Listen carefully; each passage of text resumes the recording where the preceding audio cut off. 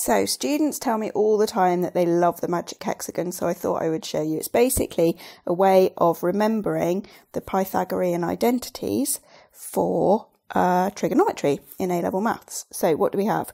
Tan is sine over cos. That's the first three. Now, opposite everything, put its reciprocal.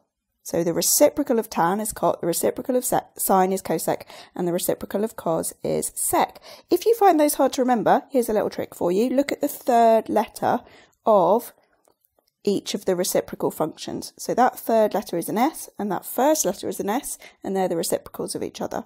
And cos x and sec x, the third letter is C, the first letter is C, they match, and tan x and cot x third letter is T, first letter is T, they match. So that's a nice little way of remembering it. So reciprocal of cosec of sine x is cosec x, reciprocal of tan x is cot x, the reciprocal of cos x is sec x, and then in the middle we're going to put a number one.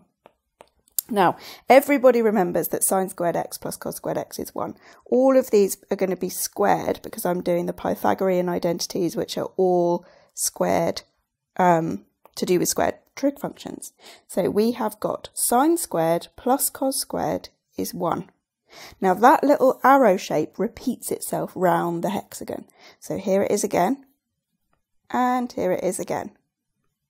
And what this is going to be really useful for is for us to memorize and see which trig identity is going to be useful. So times when you will use this. For example, you're going to use it when you are converting um, parametric to Cartesian functions.